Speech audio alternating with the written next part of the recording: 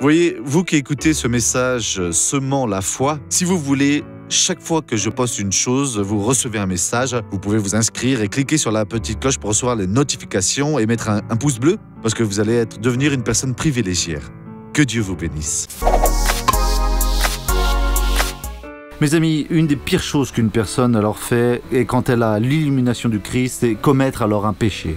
Parce qu'elle devient servante de, ce démon qui l'a induit à pécher.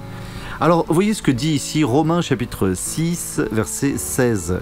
Ne savez-vous pas que si vous vous mettez à la disposition de quelqu'un comme des esclaves pour lui obéir, vous êtes esclaves de celui à qui vous obéissez, soit du péché qui conduit à la mort, comme ça, hein, vous voyez, donc, soit de l'obéissance qui conduit à la justice. Donc, la personne ne voit pas que quand elle a une tentation et elle y obéit, elle est en train d'obéir à ce démon-là. Elle devient en fait sa servante. Et comment je dois me libérer de cela? Avec une confession sérieuse. Dieu, j'ai péché, je ne veux plus de cela. Mais ne soyez pas non plus un Ah, je n'ai honte de rien, non, euh, je, je confesse, je chute, confesse, je chute. Non, non, Dieu, à un moment donné, s'arrête et vous, ne finirez, vous finirez en, en enfer. Ne jouez pas avec cela. Donc, vous avez chuté, vous confessez, à présent, vous n'êtes plus serviteur. Sans confesser, vous êtes serviteur. Laissez-moi parler avec vous. euh, ou, ou mieux encore, cette personne va raconter sa bénédiction et je reviens après pour prier avec vous. Une douleur au genou, telle que quand je montais l'escalier de la maison, je ne supportais plus de monter, il semblait que j'allais tomber, voyez. À présent, tout est passé. À présent, ça va mieux, à présent, c'est guéri, voyez, voyez.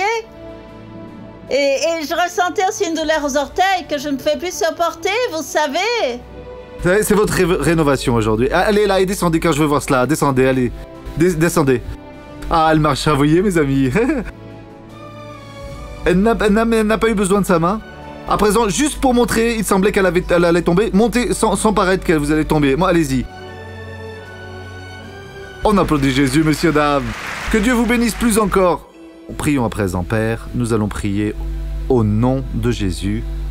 Nous allons à présent assumer alors notre place en Christ et j'ai la certitude que ces personnes seront alors grandement bénies.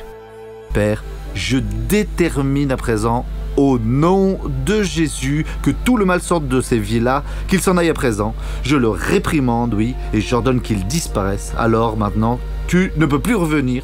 Sors de là, au nom de Jésus, et vous dites Amen. Ayez une bonne journée et à demain.